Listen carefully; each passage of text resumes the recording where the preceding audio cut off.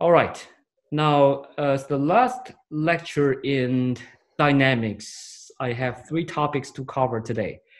The first one is energy methods. And this is a topic which is essentially developed in dynamics, undergraduate dynamics, but will be used extensively in your continuing education by other taking other advanced courses especially mechanical engineers when you learn this in the design of mechanical or kinetics of mechanical components or mechanical systems you're going to utilize the concept of energy methods extensively. For civil engineers you will not see this until maybe partially in uh, fluid mechanics or fluid dynamics. And then the other one is, like I said, the graduate course I'm teaching now, structural dynamics, which means that once you finish this dynamics, your your dynamics knowledge will go into hibernation for maybe a few years. And then when you get into grad school, you have to find a way to wake up, to remind yourself that this is something I learned two, three years ago. And that's why you are taking notes. And the second topic I want to talk about is just like I said, this is the bridge topic between dynamics and structural dynamics, which is a free vibration of a single degree of freedom system. In fact, if you think about it, we have been talking about single degree of freedom systems since the very beginning. Everything we talk about, even though it's a, maybe a complicated, maybe assembly of different mechanical components, but every time we only look at the dynamic response of one point. You either look at the behavior of point A or point C or point D. Every time is one. If you think about, right? And even you want to calculate some information, maybe relative motion between point A and point B, but you're always being provided with discrete information at a given point. So that being said, every time when you carry out your calculation is always what we call single degree of freedom system. Another reason for that is because we don't consider the deformation of any mechanical, any system that we consider in dynamics. And that also makes a big difference. For example, when we consider the motion of a, uh, a mechanical system, we never consider that this mechanical system could actually deform or when we consider that the force applies to a beam sitting on the spring, that's actually example, I don't know, 33 or 32. Do you think that the beam, whatever the beam is made of, could be made of steel? Could be made of wood? Could be made of reinforced concrete? Do you think the beam is going to deform? Of course, yes. There's no perfect rigid body in this world. You must know that already. And that means what? That means we ignored deformation of any kind of objects with mass in this dynamics, you must know that that's not true. So in multi-degree of freedom system, in structural dynamics, that's the point we're going to start considering that what if we want to know the motion of an object by considering not only the kinetic energy or the strain energy, but also the internal deformation? How do we handle those kind of problems? And that's why you need to go to grad school to learn those techniques. And I will give you a quick example, and also by distinguishing the difference between dynamics and structural dynamics.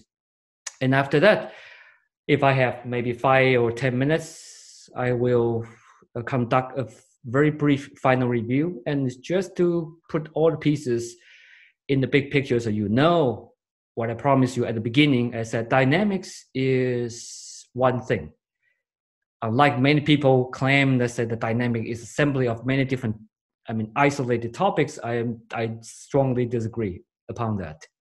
That's not true. If somebody says that that means you don't understand dynamics. Dynamics is actually all they're all related.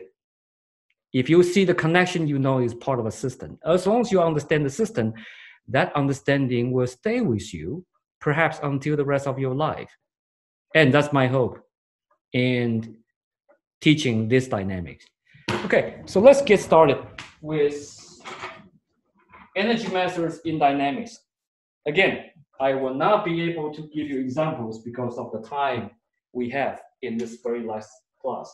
However, uh, before I continue, let's recall what kind of energies that we have learned in this dynamics. We have what? We have kinetic energy, right?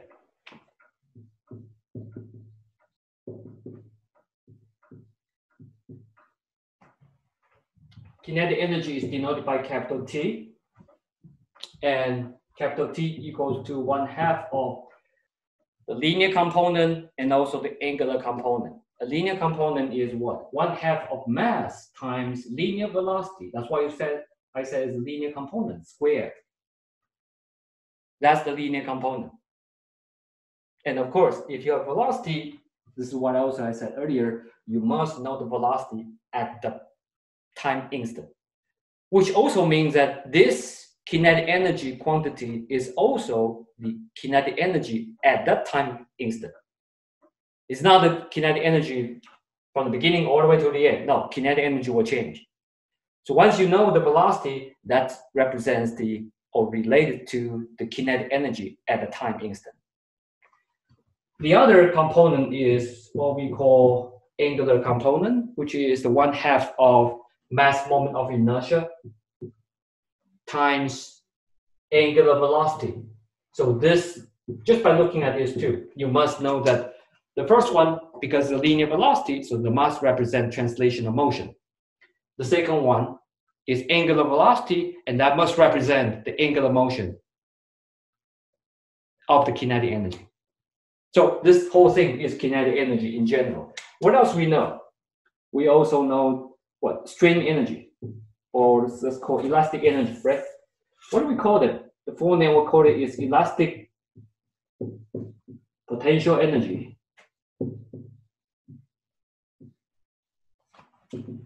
What do we call it? We call it VS. Right?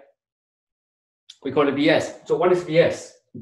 VS also has two components because elastic potential energy represents the energy stored by a spring.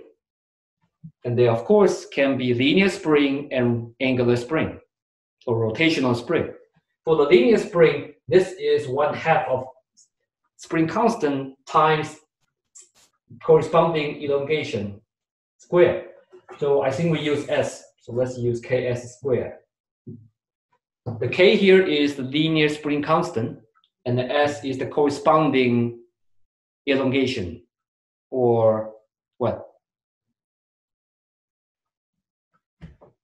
Contraction or the, the shortened distance. The other part is the angular part, which is associated with rotational spring. And I think I use K theta, right?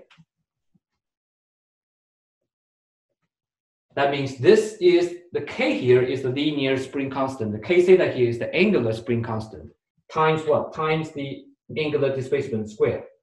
So this is the general form for elastic potential energy. And what do we also have? We also have gravitational potential energy, right?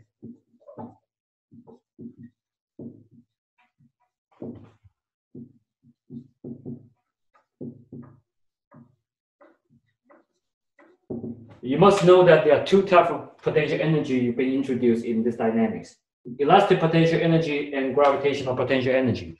For gravitational potential energy is easier. We denote it by symbol Vg, and this equals to just mass times gravitational acceleration times the corresponding displacement in the vertical direction.